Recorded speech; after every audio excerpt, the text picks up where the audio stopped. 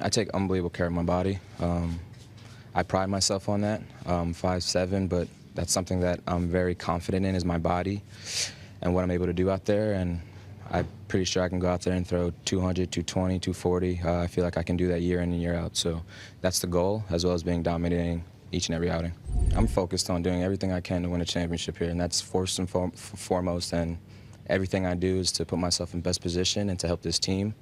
And that's the only thing on my mind. Sort of asked you this already, Marcus, but was there any, is there anything you're concentrating on working in the off season as far as your pitches go? Changeup has been a big point of emphasis. Um, I feel very good where my, all my pitches are at. I've worked unbelievably hard this off season.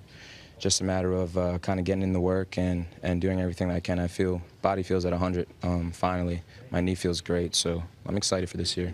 I think we have the best rotation in baseball, hands down. I'll argue that um, day in and day out. And like you said, we weren't valued at all coming into spring training. Everyone had a bunch of question marks, but we knew what we were capable of. One through five, we're extremely strong. Um, each and every guy's I consider pretty much an ace and can get us a win on every day, and that's the mentality that we have. He is confident as the Jays open their spring training schedule Saturday against the Braves. Then on Sunday, you can actually see the Jays taking on the Phillies on Sportsnet. So spring, obviously, just around the corner.